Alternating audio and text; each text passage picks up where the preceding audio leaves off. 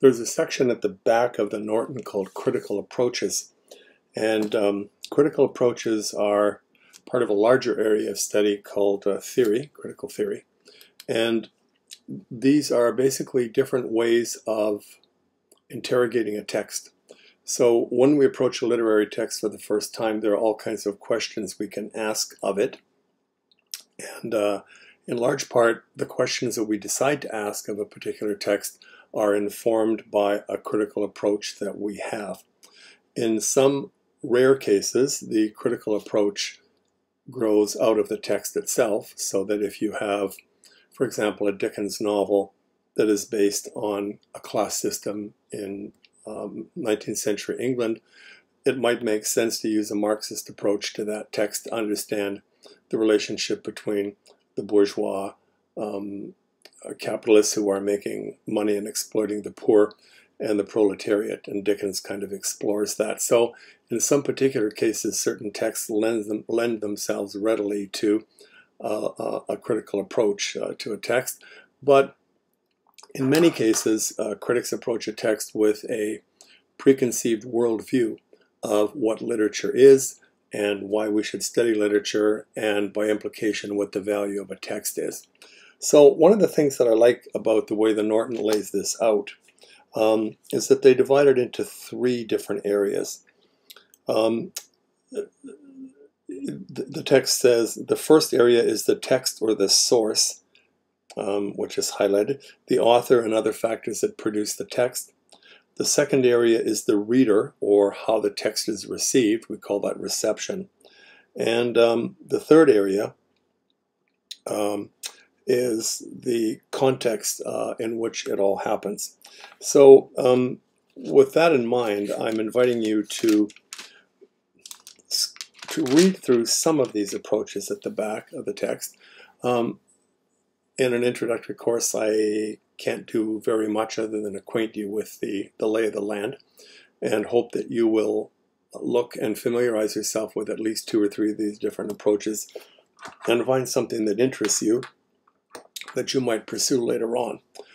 However, I want to begin my discussion by making one large point here.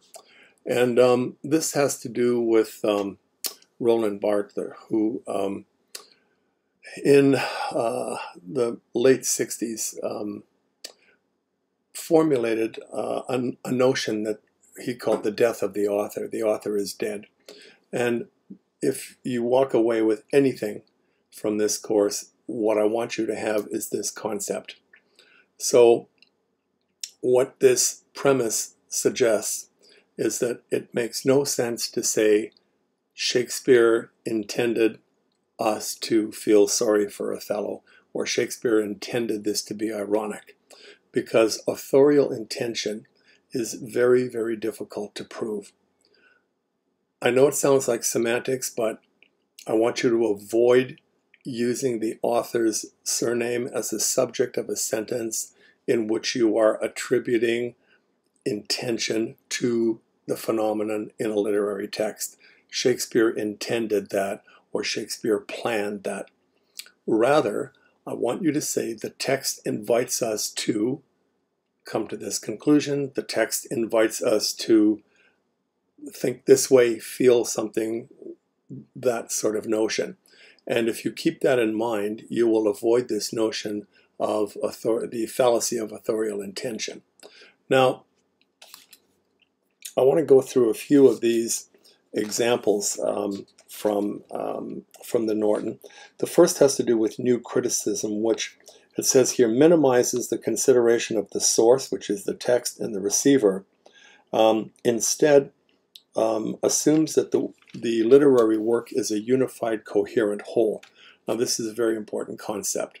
So, um, this new critical approach basically uh, begins by saying the text is a unified entity.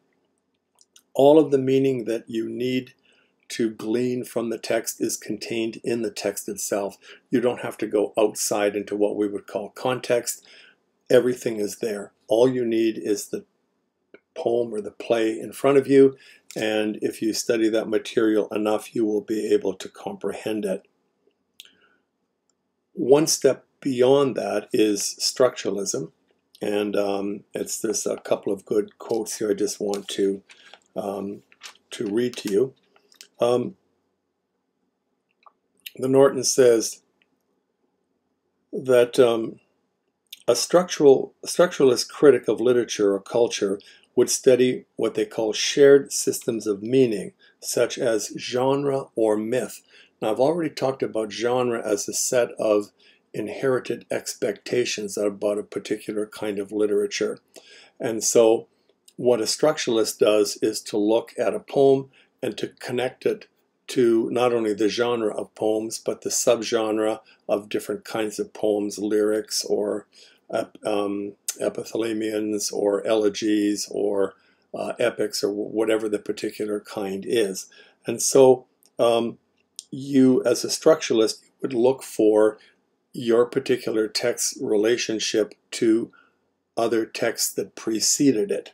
And um, that it says here at the bottom structuralism shows little interest in the creative process or the authors or their intentions or their circumstances. Similarly, structuralism discounts the idiosyncrasies of particular readings. We're not looking for anything unique or idiosyncratic in an interpretation. It takes text to represent interactions of words and ideas that stand apart from individual human identities. And so a structuralist approach is going to contextualize our particular poem, play, story in the genre or the recurring mythologies that occur in a culture. And I'll talk about those in a minute when I talk about um, Carl Jung. You'll see another category here, one worth um, uh, a quick look, which is deconstruction. I've talked about this elsewhere in my lectures. Um, it says here that for deconstruction, the tr traditional concept of the author as a creative origin of the text comes under fire in deconstructionist criticism. So um, this is what Barthes is talking about here, the death of the author. We're not really um, interested in what Shakespeare's intentions were. Um, but what deconstruction does is basically start from the premise that every text inherently and sometimes unconsciously argues against itself.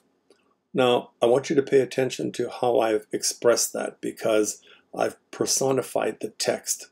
That is to say, I've attributed human attributes to the text itself. So while a text might be busy making an argument against the idea of war or against the idea of human suffering, there will be other moments in the text where those ostensibly explicit intentions are challenged or undermined or disrupted or somehow disturbed. And so deconstruction basically looks for moments of unconscious self contradiction and embarrassment in a text when the main flow of the argument seems to be disrupted by other alternative subversive voices. Um, biographical criticism um, defies all of that and says, no, no, no, you have to understand the biography of an author in order to help interpret any literary text that they've written. Freudian criticism begins from within Freudian theory, ego, superego, um, the id, and looks for ways in which literary texts engage or express or invoke a Freudian understanding of the world. Now, it is possible to combine some of these approaches so that um, you might use deconstructionism with a Freudian reading to come up with your own reading of a text. Jung, um, J-U-N-G, Carl Jung, is, uh, to my mind, one of the more interesting psychological approaches to literature. Jung formulates the notion of an archetype, which is a recurring pattern or figure that appears in various literatures across time and space. And these archetypal recurring patterns, says Jung, get gathered up and manifested in each new literary text that is produced. And so again, I come back to the notion of genre, the tension between conforming to the expectations of the genre and deconstructing or undermining or challenging or innovating against those very predictable um, expectations that we have. So um, there are lots of archetypes. Uh, one of them, for example, in Jung is a shadow, which is the um, Jungian equivalent, I suppose, of the Freudian id. It's part of the unconscious mind that um, that is our dark side, our potential for evil. Something that you might want to pay attention to, and this is going to come up a little bit in um, in gender studies too. I'm just going to type these words up here for you so you can see what I'm talking about. Um, Jung also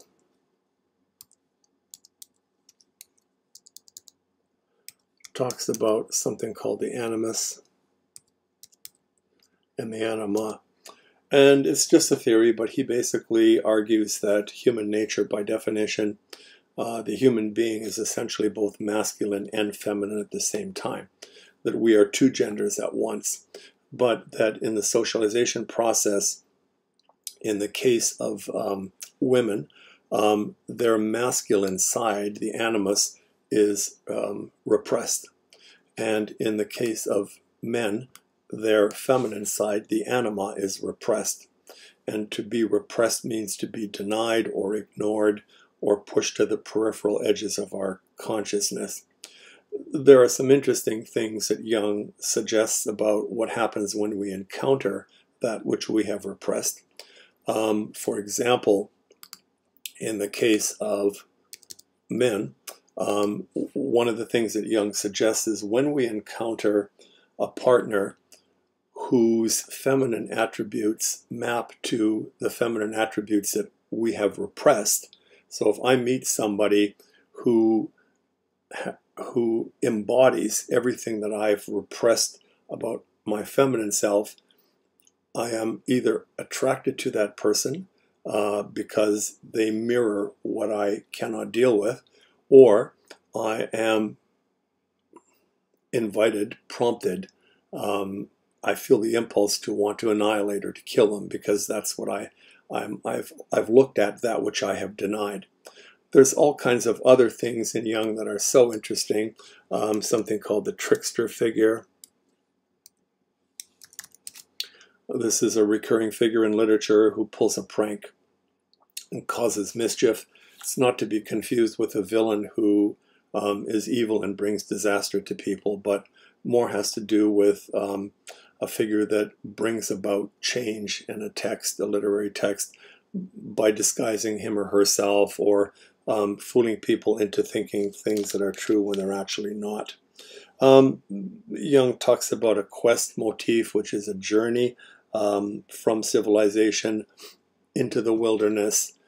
The hero is challenged or tried and then returns back to civilization, a changed person think about Lord of the Rings um, as an example of a quest uh, motif.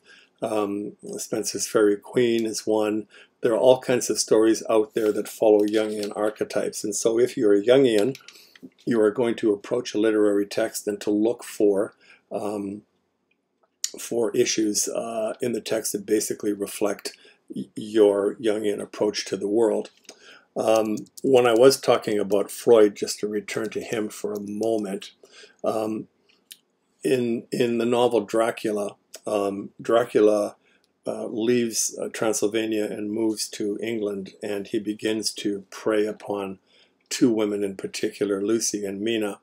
And the men in that novel um, are um, driven to protect their females. And um, they have to basically try to kill Dracula because he is transforming their women into entities that are aggressive and that uh, that they don't like. And what's interesting about this is that Freud postulates something called primal horde theory. And what he argues in primal horde theory is that um, human beings act like dogs, essentially, like animals. There's alpha males who uh, control the whole pack, And in the animal world, the alpha male has access, sexual access to all of the females, and the rest of the males, the beta and below, um, live in fear of the alpha male because the alpha male uh, can physically beat them up and punish them. And so when you look at what's happening in Dracula, it does fit beautifully with Freud's notion of primal horde. Um, Dracula is the alpha male. He is the um, the alpha who has access to Lucy's and Mina's sexuality when the rest of the men in the pack do not. And in order to restore balance and equilibrium, they have to kill this alpha male, or as Freud would say, they have to kill the father figure. So when you start to understand um, a little bit of psychology and you can see it manifested in the text, it becomes a way for you to frame your understanding of the text. Um, the other category, emphasis on the receiver, you'll see something here called reader response criticism. What this is, is a more internalized monitoring of your own reactions as you read a text. You kind of monitor what you're feeling and how you are reacting, and that becomes your way into a discussion on the text.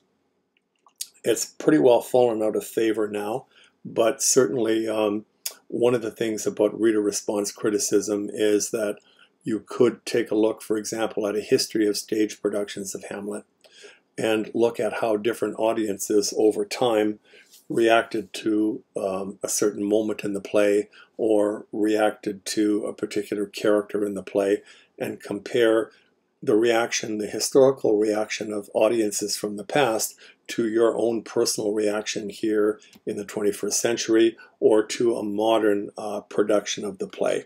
Um, so that's reader response. Marxist criticism interrogates text with the idea that um, you are looking for ways in which the text either supports capitalist activity or attacks capitalist activity. You can combine, as I say, Marxism with deconstruction. So if you have a text that basically is busy um, attacking, like Dickens is busily attacking um, the horrific consequences of um, industrial capitalism and condemning it. You would also look for moments in the in that story where capitalism is actually praised or where the possibly the good aspects of um, of capitalism are revealed. Um, sometimes not intentionally by the text, by which I mean the text never says that, but it implies that as a subtext. So that's how you would combine those. Um, gender studies and queer theory have um, had a long and um, storied struggle with um, mainstream literature and criticism to be heard. Um, there is now a body of literature that is explicitly focused on issues of gender and queerness and how human beings struggle with the expression um, of, of those uh, desires and those orientations. But um, it's also possible for someone who is approaching a literary text from this way to read a text that does not officially or um, explicitly engage gender or queer issues, um, but ends up talking about them unconsciously or accidentally. It's still possible, in other words, for somebody who comes from gender studies or queer theory to read a text that is not really about gender studies or queer theory and to show how that text makes assumptions about who these people are or how that text makes assumptions about what kind of human beings these people are and so on. So just because you're oriented that way doesn't mean you only want to read literature that suits your particular approach. Similarly, as I was talking about Marxist criticism, Marxist critics are going not only going to read Dickens, but they're going to read other texts as well. It's just that some literary texts lend themselves more readily to certain approaches um, rather than others, but any approach can be applied to any text. The Norton also talks about African American and ethnic literary studies. Um, these are very interesting studies. It says here criticism and histories of African American literature tended to ignore and dismiss women writers, while feminist literary histories uh, neglected women writers of color. So a lot of African American and ethnic century, uh, ethnic uh, literary studies combine feminist studies uh, together to argue that women of color or women of ethnic difference are um, uh, disadvantaged doubly, not only because of skin color or race, but also because of um, of the fact that they are female. And so um, you can you begin to approach a text with these kinds of questions. What does the text assume about this world? What does the text want us, invite us to think or feel about this world um, that is being created in the story? Um, Post-colonial also a huge area um, of literary expertise and criticism um, comes out of India, the Caribbean, um, Australia, Canada, any country or national literature that was subject to um, British rule. And um, and those uh, literary texts are often involving and exploring the psychological space, the consequences of colonialism on human lives. And so um, they begin to ask questions about the power relationship between the center and the margins of the empire. begin to ask questions about dominance and control and traditional structures of power. So you can go through these different approaches and have a look at them. And um, I invite you to ask questions about them um, in class uh, in whatever form is appropriate.